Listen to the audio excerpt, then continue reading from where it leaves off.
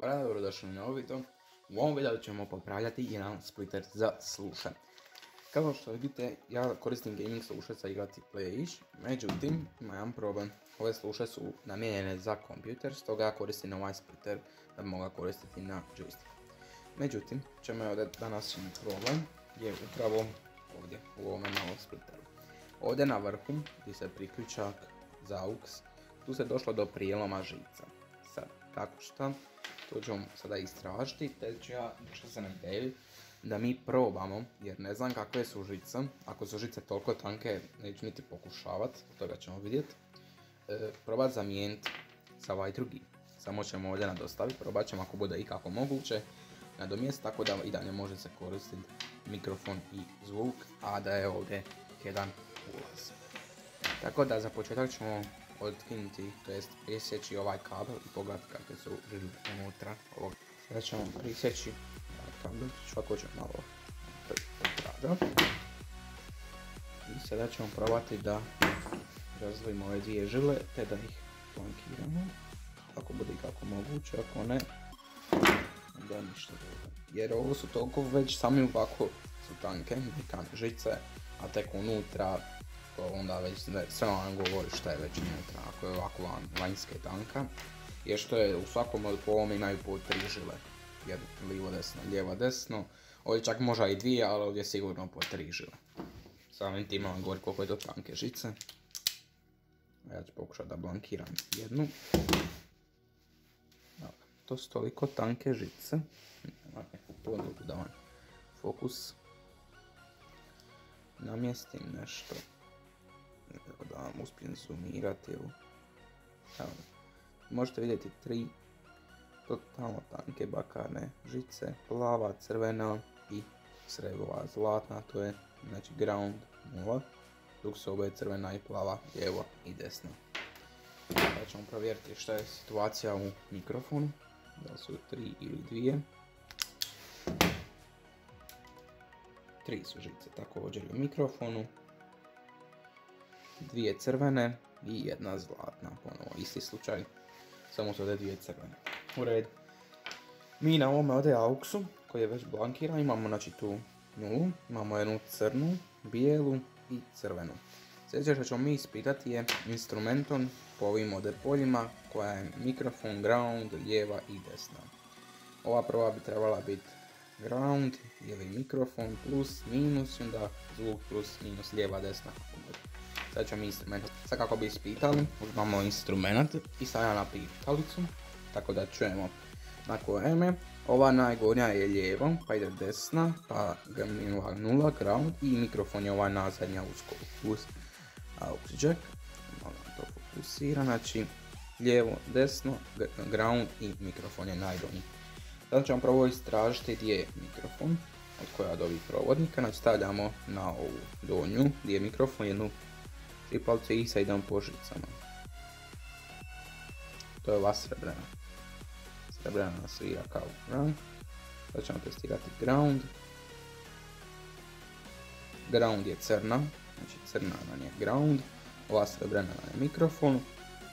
Desna žila je bijela. I lijeva je crvena. Tako, kad smo to ispitali, Sada nam preostaje ispitati ovaj ovdje mali auksić, da otkrijemo koja je njegova lijeva ili kako već desna strana.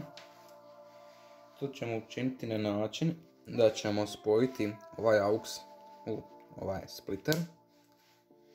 Te ćemo sada, moramo odguliti ove žice, preporučujem na ovo ove tanke provodnike da i upaljača. Ja ću uzeti Brenner. Mali Brenner naravno samo malo spalite. Tako da bi došlo do bakarne žice, kako bi mogli to da ispitamo. U red, znači rekli smo da je srebrena mikrofon, crna je ground, bijela nam je desna i crvena nam je lijeva. Dobro, znači sada ćemo ispitati koja je ovdje lijeva desna, srebrena je 100% ground, znači to nas ne interesuje, samo, samo ćemo ispitati da li je crvena desna i da li je plava lijeva ili obratno. Naslon ćemo napisati na plavu. Sad idemo na crvenu, nije. Bijela je. Znači plava je desna, crvena nam je lijeva. Eto ga, znači otkrili smo pa je tu lijeva i desna. Dok od mikrofona, ovo vjerojatno se žele za lijevu desni mikrofon, međutim na ovim slušama nema lijevog desni, ima samo jedan mikrofon, tako da ćemo mi spojiti obe crvene skupa.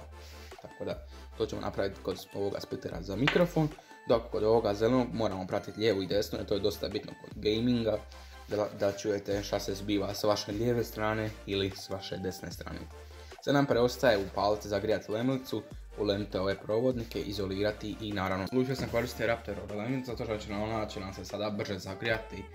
Da ne čekamo dugo dok se zagrije ova e, Lux Tools lemlica, što ovaj spora grijavac, grijač, a ovo je odmah automatski grijač, čim uključimo za par sekundi se zagrije. Tako da sljedeće što ćemo raditi je okrenuti ove aukse i uhvatiti svaki u svoju štipalicu. Te ćemo razmotriti, znači ovo je plava desna, malo da vi to vidite ćemo malo zoomirat i fokusirat malo. Znači ova ovdje na nje, to jest ovim pincetom, će nam dosta zgodnije pošto su jako tanki provodnici. Znači samim time bi imamo neko zeleno, znači ova ovdje desna, na nje je plava, to jest znači desna. I to na nje ova bijela. Ova ovdje na ovome većem auksu. To na nje bijela. Crna na nje ground. Razvrstamo. Ground ćemo dignuti gore.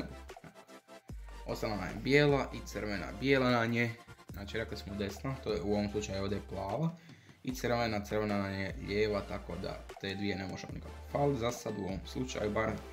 I ova srebrena, to je zlatna, ide sa crnom jer to je ground.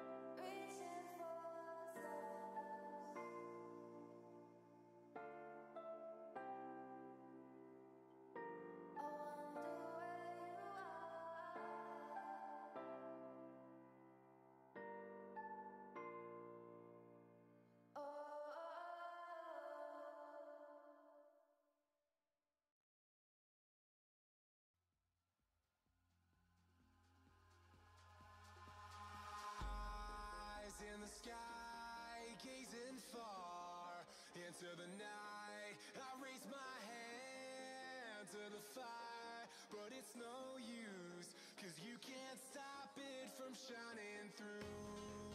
It's true,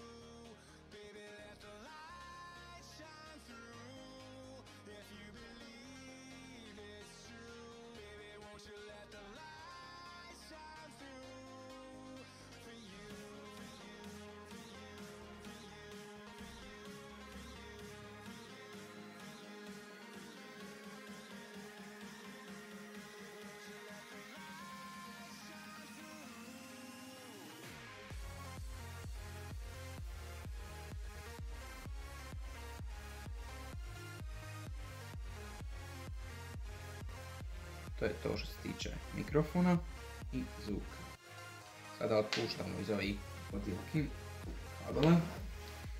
I ono zadnje što nas slijedi je test, a prije toga da vam pokažem da je to zalemljeno, pozadine nekakve da vam zoom, fokus uhvati, znači to, to su četiri ovako žile, ali imamo po tri žile u svakom od ovome priključka. Znači za zvuk imamo tri žile i za mikrofon imamo tri žile i to smo mi sad rasporedili i sad nam slijedi ono najglavnije, a to je test. Ja ću ovo, pošto snimam s istim mobitelom, ja ću, to, ja ću sekund pauzirati snimanje, snimanje. Te ću testirati ove sluše na mobitelu. Pustit ćemo na diktafon, te ćemo pustiti nekakvu pjesmu. Te ćemo provjeriti sami time da li radi zvuk, znači mikrofon i da li radi lijeva ili desna sluh. Ja sam konačno testirao sluše i sve radi kako treba. Znači, apsolutno, mikrofon radi lijeva, desna, sve bez greške, zvuk je čist, znači nema nikakvog prekida. Jedino što nam sada preostaje poizolirati svaki od ovih provodnika. Ja ću to malo ući u rad, tako da ću staviti malo silikona, ručeg lijepka koji sam stavio da se grije. Malo ću ručnim lijepkom i zatim ću izolirom probati to sve malo izolirati, tako da ne bi došlo do međusobnih kontakta između svake pojedinačne od ovih bakarnih provodnika. I eto ga, to ću ostaviti za kraj, to ću ja sam da uradim, da ne dužim ovaj video.